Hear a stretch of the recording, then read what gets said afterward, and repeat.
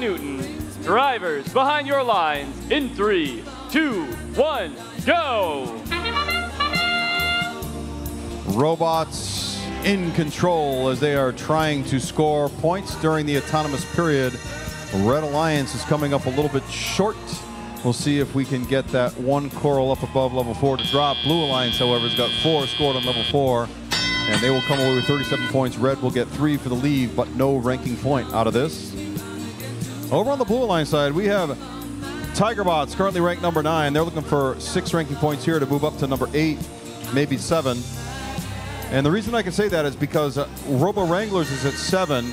They have an average ranking point of 4.89. That's Robo Wranglers. And Tiger Bots also has a 4.89. And so with the tiebreakers, Robo Wranglers sits at number seven. In between them is a team with a ranking point average of uh, uh, 4.89. So a win here would help out both Tiger Bots and Robo Wranglers in terms of rankings. But they're going to need five or six ranking points with that win for it to be completely meaningful, meaning that Robo Wranglers is going to need at least five, maybe six to be able to move up in the rankings. And let's see if they can do it. Right now, they're looking pretty good. 138 points on the board. Cooperation is in play, and they've got two out of three rows buttoned up over there on the Blue Alliance side of the field. Working on level two right now.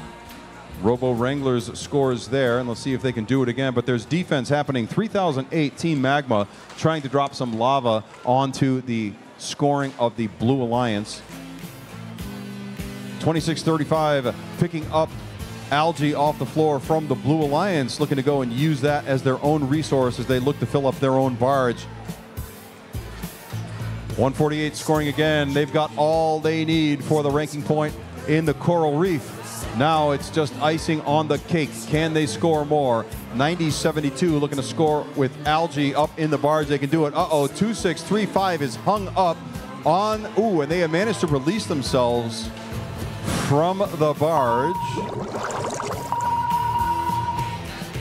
148 scoring also down there on level one. It looks like they may have filled up the reef level four, three, and two over there on the Blue line side for 207 points so far. We get down to five seconds on the clock, and let's see if we can get some climbs in. Woo! 63 28 leaps into the air, mechanical advantage.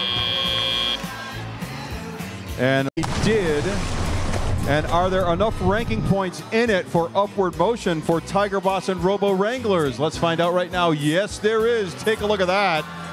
148 jumps up to number five. Right behind them, 90 72 into the number